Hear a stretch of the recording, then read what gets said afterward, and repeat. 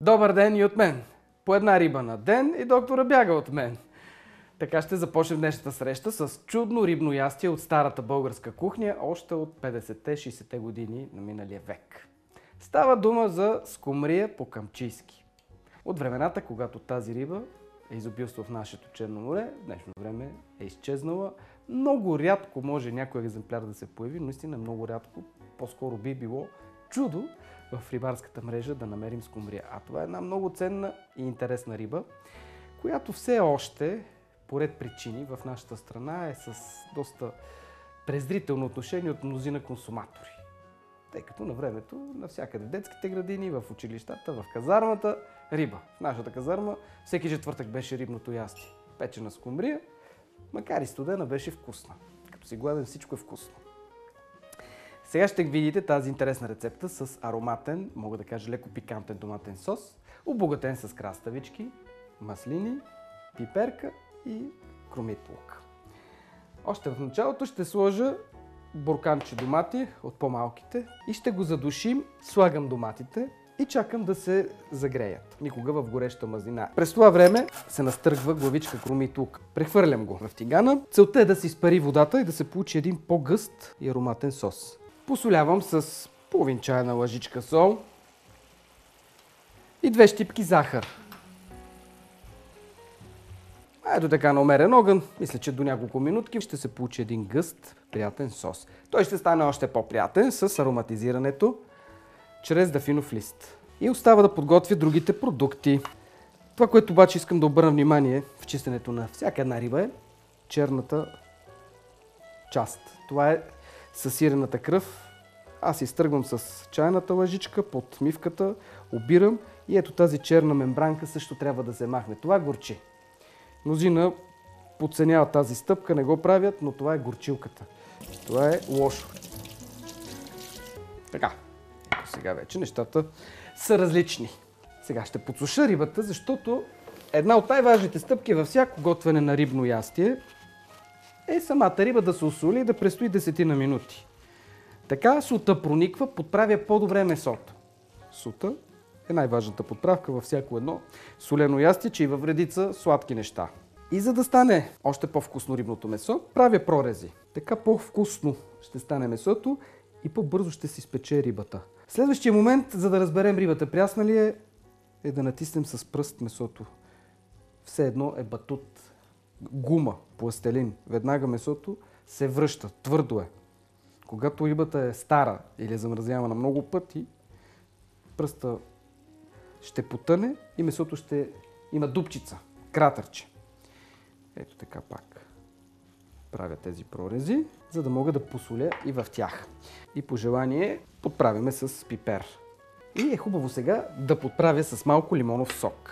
Едно частично мариноване. Остана да подправя с малко пипер. Това за всяка риба въжи. Сол, лимонов сок, според рецептата, може с него, може и без него.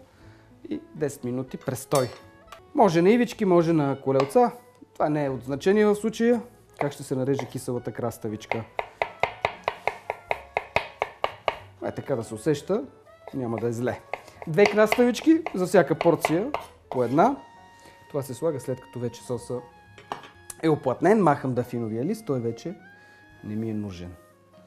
Даде достатъчно от своя неповторим вкус за редица по-тежки риби, каквато е скумрията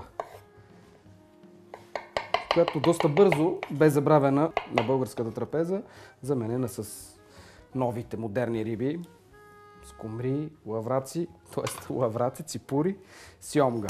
Особено сьомга. Всички готвят сьомга, най-вече звездите. А толкова прекрасна риба е скумрията. Тя по нищо не отстъпва на сьомгата като хранителни качества. Следват ивички пиперка, Така. Ги слагам и тях.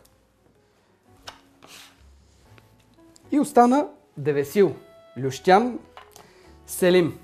Това са трите наименования за подправката, която най-вече подхожда на рибните ястия. Не повече от половин лъжичка. Силна подправка и великолепна. Време е в тавичката да сложа малко мазнина и да поставя рибите. Богат сос. Трябва да е така плътен, защото Докато се запича скумрията, в тавичката ще се отседи най-малко течност от самата риба. Сега в началото се старая да напълня, доколкото е възможно, кухината с сос. Той за това е по-гъстичък. И за пастърва е приложима рецептата. Рибното месо става сравнително бързо.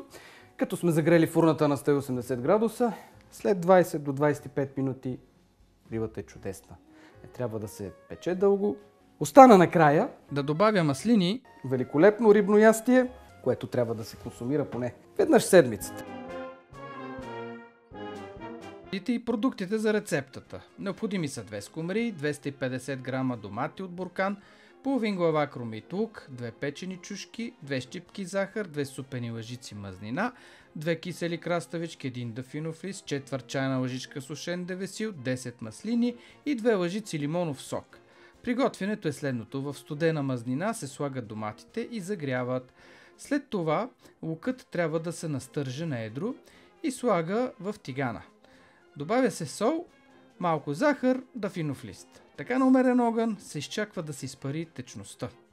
И соса се оставя да се сгъсти. Това отнема около 5 минути. Много добре трябва да се измие скумрията и да се отстрани със сирената кръв.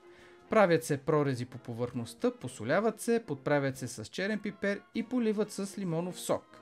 Така е желателно рибата да престои поне 10 минути. Нарязват се краставички и печени чушки и когато доматеният сос е сгъстен, към него се слагат краставичките и чушките. Добавя се девисил, а рибите се подрежат в намаслена тава и в коремната кухина на всяка от тях се слага по една лъжица от доматения сос. Всичко това се покрива с останалия сос. Поръсвам с маслини и рибата пека на 200 градуса за 20-25 минути в предварително затоплена фурна. Добър апетит!